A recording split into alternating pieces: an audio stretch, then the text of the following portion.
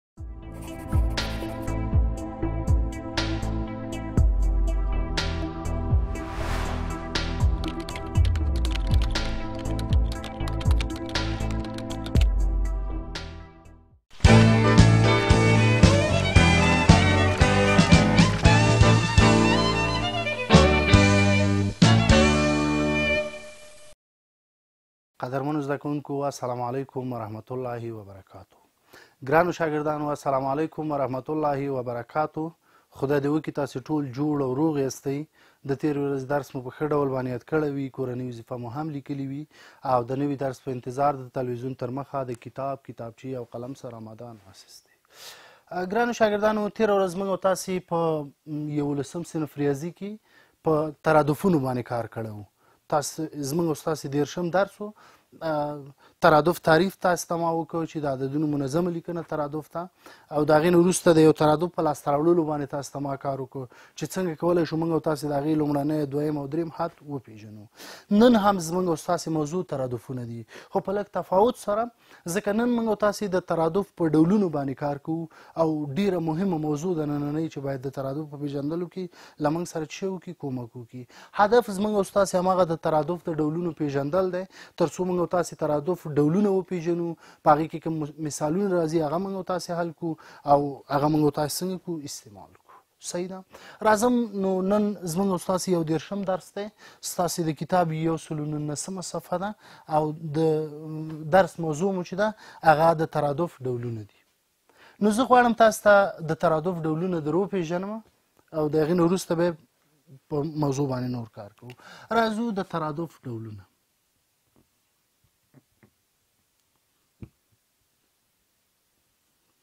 ډولونه ترادف په دوه ډوله دی په څو ډوله دی په دوه ډوله اول ته موږ تاسو حسابي ترادف وایو حسابي ترادف او بل ته موږ چې وایو هندسي ترادف دویم چی ده هندسی ترادف ده دا د ترادف ډولونه دي اول اوس موږ او تاسو د حسابي ترادف تر څېړنې لاندې نیسو کله چې موږ او تاسو حسابي ترادف وپېژندو په دې کې ډېر لویه موضوع ده بیا د هغې نه وروسته موږ او تاسو هندسي ترادف پېژنو خو فقط باید موږ په یاد ولرو چې ترادف په دوه ډوله دی یو ته موږ تاسو حسابي ترادف وایو او بل ته موږ تاسو چې وایو هندسي ترادف وایو اول لازم زه تاسو ته د حسابي ترادف تعریف کوم حسابي ترادف هغه ترادف ته ویل کیږي چې د دوه پرله پسې حدونو ترمنځ توپیر یو ثابت حد وي لکه دسی دا یو ترادف دی A یو اې دوه، اې درې، اې څلور او همداسې ایسته تر اې ان پورې ما مطلب دا چې د دینه دا تفریق کما فرضا ډی راغی د دینه مې دا تفریق کم ډی راغی د دینه مې دا تفریق کم ډی راغی لکه دسی ډی مساوي کیږي د ا 2 منفي ا یو یو ثابت حد راشي فرضاً پنځه راغی نو بیا به څه کېږي ډي مساوي ای درې منفي ای دوه هم باید څو راشي باید پنځه راشي او همدارنګې ډي مساوي ای څلور منفي ای درې هم باید څو راشي پنځه راشي یو صاحب ګوره ډي په ټولو کې څنګه دی ثابت دی کنه د ټولو حدونو د تفریق حاصل څه دی یو ثابت حد دی نو دې ته موږ تاسو دغه سي ترادف ته به موږ کوم ډول ترادف وایو موږ تاسو به دې ته حسابي ترادف وایو اوس راځم په دې کې یو څه شیان دي هغه باید موږ تاسو چې و پیژنو نو دا ترادف زه تاسو ته دلته لیکم بیا تاسو پوهیږئ وګورئ تاسو ای یو ای دوه ای درې ای څلور او همدارنګه تر ای ان پورې ښه ډي مساوي ده د ای دوه منفي ای یو سره او همدارنګه ډي مساوي کیږي د ای درې منفي ای دوه سره او یو به بل مولیکو چې ډي مساوي کیږي د ای څلور منفي چې سره ای درې سره اوس ای یو ایو چې د لومړنی حد شو دې ته موږ لومړنی حد وایو ای دوه چې دی دوهم حد البته د حسابي ترادف دویم حد به دلته ورته وایي دوهم حد ای درې چې دی دریم حد ای څلور څلورم حد څلورم حد ا ان چې ده دې ته موږ تاسو انوم حد وایو انوم حد او ډي ته موږ تاسو چې وایو ډي مشترک توپیر مشترک توپیر مشترک فرق مطلب د دې ټولو د دید د ټولو یو شان دی د ټولو لپاره ثابت دی ښه اوس دلته یوه خبره بله هم ده دغه حسابي ترادف چې د منګي په دوه ډوله باندې ویشو راځو حسابي ته حسابي ترادف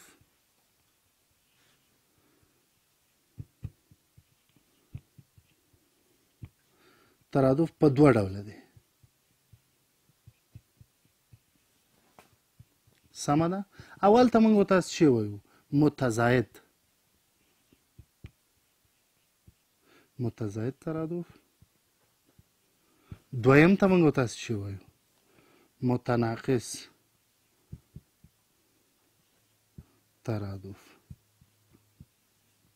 ده یو ته موږ تاسو متزاید ترادف وایو دویم ته موږ تاسو متناقض ترادف ګوري یوې خبرې ته باید تاسو فکر وی چې ډي چې مشترک مشترک توپیر موږ تاسو ورته وایو انګلیسي کې ورته کامن ډیفرنس وایي مشترک توپیر دغه متزاید او متناقض په حسابي ترادف کې د ډي پورې اړه لري که چیرته څنګه کار وي که چیرته ډي که ډي لویه د صفر نه شوه ترادف څنګه دی ترادف متزاید دی ساده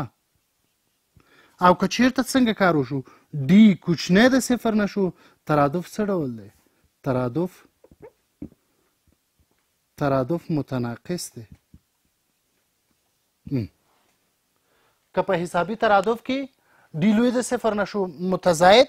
او که ډي کوچنی د صفر نه شو نو څنګه دی متناقص دی سمه ده ښه اوس راځم زه څنګه کار کوم دلته موږ تاسو ته یو مثال لا کړی دی وای په دې کې تاسو ډي پیدا کړئ مطلب مشترک توپیر د هغې څنګه کوي لاس ته راوړئ یا پیدا کړئ راځئ وګورئ ترادف داسې دی وای چې دوه پنځه دوه پنځه اته یوولس اته یوولس څوارلس ولس څوارلس ولس دا یو ترادف دی سمه ده په دې ترادف کې څه وکړي مشترک مشترک توپیر پیدا کړي کامن ډیفرنس توپیر پیدا کړي څه معنی ډي پیدا کوي پکې ډي وای په دې کې تاسو څنګه کې لاس ته راوړئ سمه ده د ډي د لاس ته راوړلو لپاره څنګه کار کوم دا موږ سره ای یو دی ای یو مساوي څو ده دوه دا موږ سره ای دوه دی ای دوه مساوي څو ده پنځه دا موږ سره ای درې دی ای درې مساوي څو ده اته دا موږ سره ای څلور دی ای څلور مساوي څو ده یوولس نو ډي باید موږ او تاسو پیدا کړو چې دا یو حسابي ترادف دی که نه دې ته موږ تاسو یو حسابي ترادف وایو که نه د دې د لاسته راوړلو لپاره موږ تاسو څنګه کار کوو د دې حسابي ترادف د لاسته راوړلو لپاره موږ تاسو داسې کار کوو چې هلته راځم لومړی حل په لاندې ډول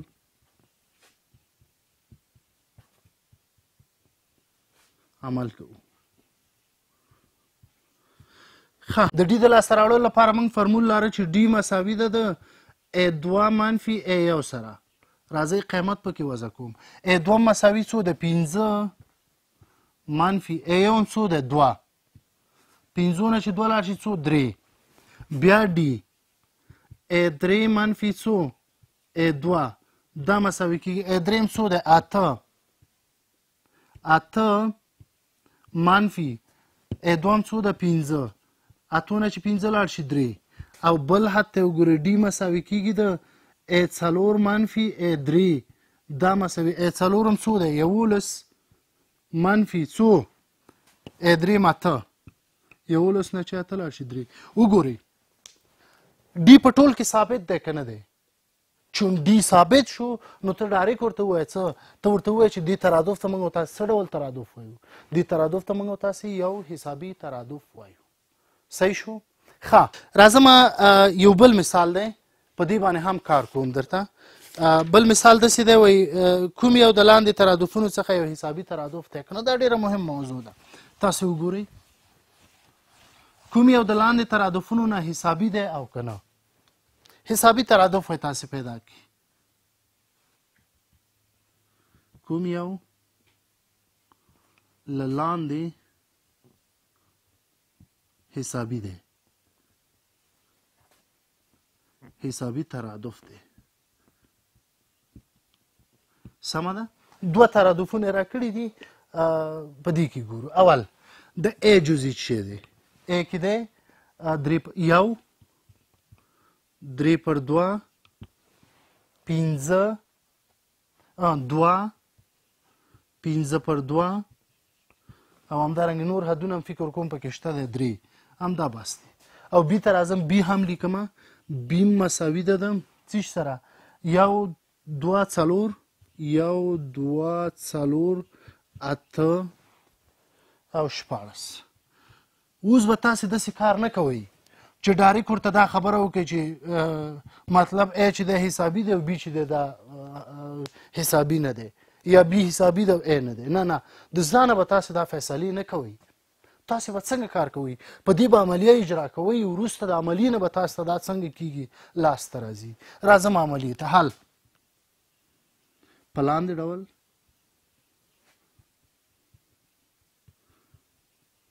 عمل کو وګورئ اوس اول لازم دی ته یو څو دی یو یو مساوي یو ای دوم څو د درې پر دوه ای دریم څو د دوه همدا دریو کې چې پیدا کو بس دی صحیح شو ډي به دې کې پیدا کی تاسو که ډي پکې ثابت وو توپیري خو حسابي دی کني نه دی اول لازم ډي مساوي کیږي د ا دوه منفي ا یو سره ښه ا دوه هم څو دی درې پر دوه منفي ا یو هم څو دی یو یو پر یو به کو دا دوه مخرج مشترک دوه چې په دوه تقسیم کو یو یو په درې کې درې منفي دوه چې په یو تقسیم کو دوه دوه په یو کې دوه دا مساوي کیږي د دریو نه چې دوه لاړ شي یو پر دوه وریګه چې د دې بل هغه هم یو پر دوه راځي که نه راځي ډي مساوي کېږي د ای درې منفي څو منفي ای دوه دا مساوي شو ای دریم څو دی دوه منفي ای دوم څو دی درې پر دوه دې ته مخرج یو ورکو دا مساوي مخرج مشترک دوه دوه چې په یو تقسیم کې دوه دوه په یو کې دوه منفي دوه چې په دوه تقسیم کې یو یو په درې کې درې دا مساوي منفي یو پر دوه وګوره منفي یو پر دوه مثبت یو پر دوه سره مساوي کېدای شي هیڅ کله نه نو موږ څه وایو موږ وایو دغه ترادف چې دی یو حسابي ترادف نه دی صحیح شو راځم دویم ته په دې دویم باندې هم زه تاسو ته کار کوم خدای دې وکړي په دې تاسو پوه شوي یاستئ دویم ته راځم همدا دویم هم کار پې کومه به فکر کوم وخت هم پوره کېږي موږ سره صحیح شو یو مساوي څو دی یو ای دوه مساوي څو ده ای دوه مساوي دوه او ای درې مساوي څو ده هغه مساوي څلور ده راځي ګورو چې آیا دا فرق څنګه دی آیا دا یو حسابي ترادف دی که نه دی صحیح شو ښه راځم ای څلور به مو لیکم ای څلور مساوي څو دی اته ښه ډي مساوي کېږي د ای دوه منفي ای یو سره دا مساوي ای دوم څو دی دوه منفي ای اوم څو دی یو دا مساوي دوه نه چې ولاړ شي یو ښه راځم اوس دی بل ته دا بل ګورم دو ډي مساوي کیږي د ا درې منفي ا دوه دا مساوي ا دریم څو د څلور منفي ا دوم څو د دوه څلور نه چې دوه لاړ شي دوه چون په دې کې هم څه شو مساوي نه شو دی ثابت نه شو نو دا دا ترادف هم څنګه دی یو حسابي ترادف نه دی سمه ده خدای دې وکړي چې تاسو په دې باندې پوه شوي یاستئ نو ښه ډېر وبخښئ هغه مخکې د ای مثال چې دی دغه مثال فکر کوم دا حسابي دی یو ځل بیا درته دې مثال باندې کار کوم ای بیا حل کومه ای یو مساوي یو ای دوه مساوي ده د درې پر دوه